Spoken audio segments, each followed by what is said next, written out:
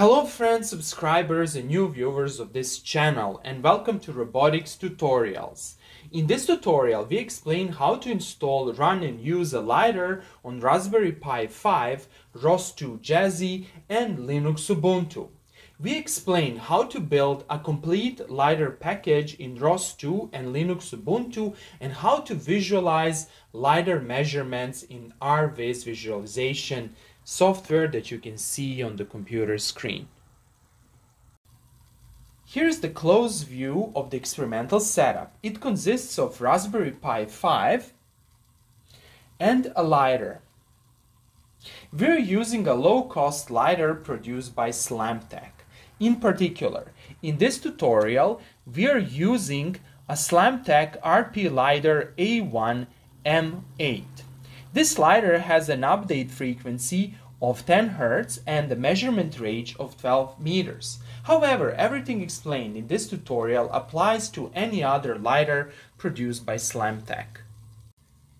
Then, we are using a Raspberry Pi 5 with an active cooler. Note that active cooler is sold separately from the Raspberry Pi.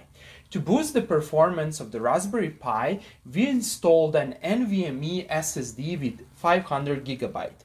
Here you cannot see an NVMe SSD since it's mounted below. And I will try to move the Raspberry Pi to show you where it is. So below, it's mounted on this base and it sits below Raspberry Pi. The main motivation for using an NVMe SSD comes from the fact that compared to microSD cards, NVMe SSD disks are at least 10 times faster. This reflects itself in a smoother and faster operation of Raspberry Pi 5 and is of crucial importance in read and write tasks. Over here on the computer screen you can see RViz visualization of the lidar measurements.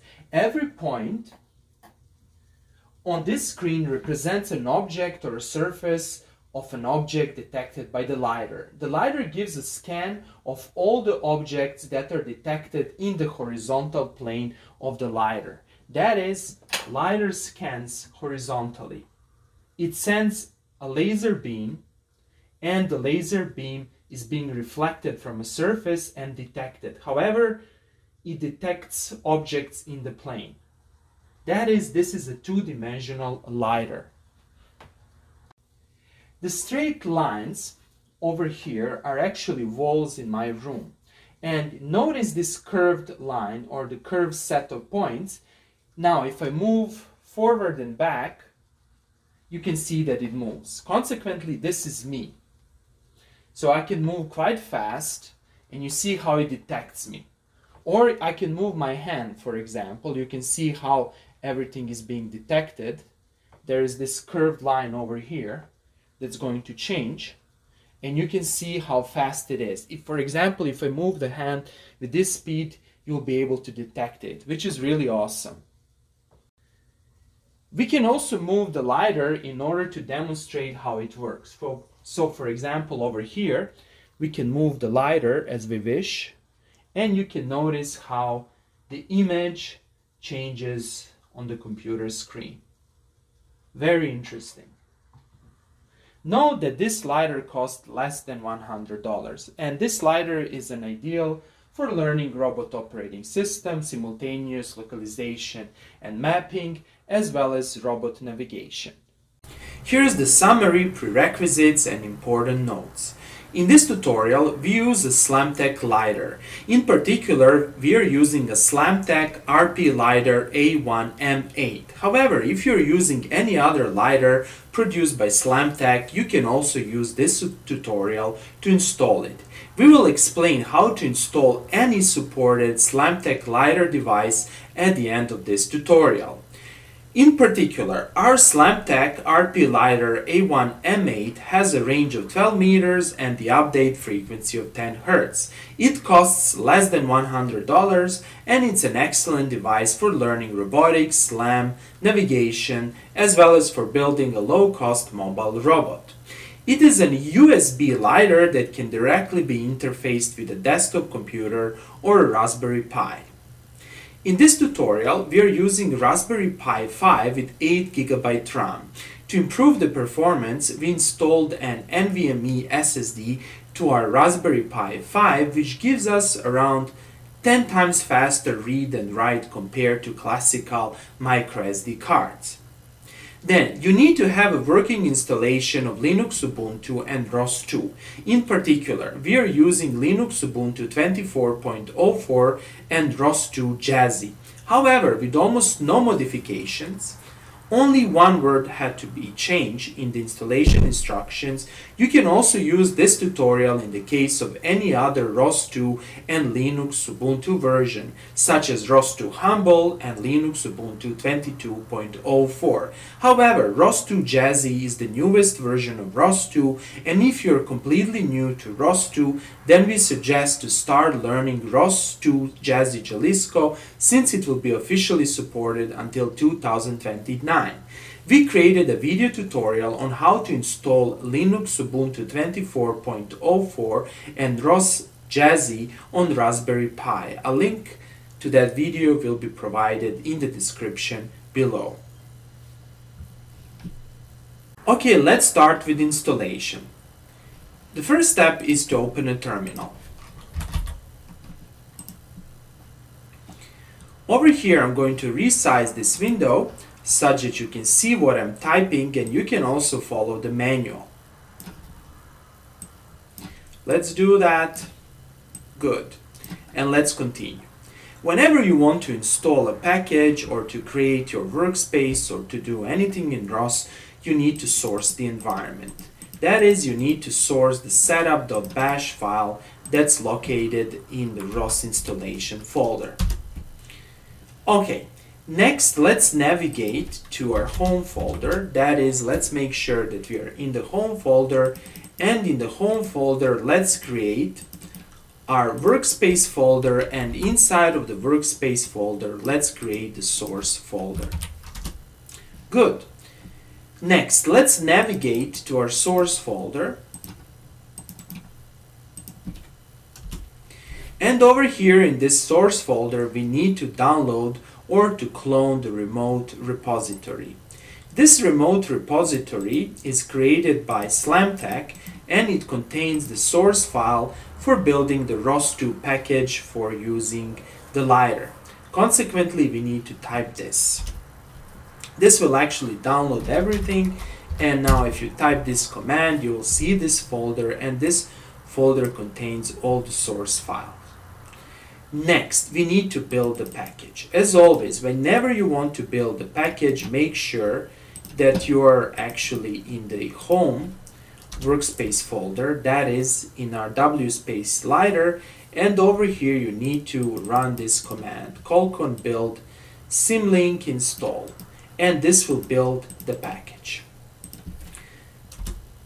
And here you need to be patient since it will take a while to build this package. It's not going to be too long, maybe like 30 seconds or maximum one minute depending how fast is your Raspberry Pi 5.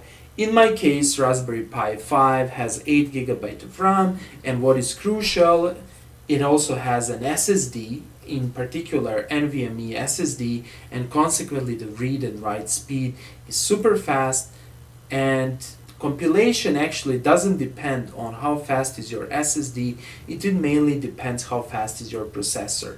However, compared to Raspberry Pi 4, Raspberry Pi 5 has much faster processor. And I can verify that and I can confirm that since I'm able to actually record this video and at the same time compile which I was not able to do on, in Raspberry Pi 4. Okay, let's analyze what happened. Now you see over here, summary, one package finished, one package had the standard error output. Now don't panic. These are not errors, these are actually warnings, as you can see over here. So there are no errors and you will be able to use your lidar. Okay, so we created our package and the next step is to source the created package. To do that, we need to execute this file setup.bash in the installation folder. So let's do that. And here it is. Now we can use our lidar. But before we can even try to use the lidar, we need to attach the lidar to your USB port. So make sure that the lidar is attached to the USB port and I will do it right now. And you will hear how the lidar will start spinning. Here it is. You can see in the background taka taka taka taka sound. This means the lidar is spinning. Good. The next step is to make sure that we have the proper permission on our USB port. First of all, you need to find the appropriate USB port and usually we, I do it like this. And this command will give you the number of your USB port. In my case, it's TTY USB 0. It's very important to know this number since and these letters and this uh, name of your USB port since we need to use it. Now, we need to set the proper permission to our USB port. We do it like this. This command will make sure that we can read from this USB port. And over here you need to enter your password. And finally we can start using our lidar. To use the lidar we need to execute this command.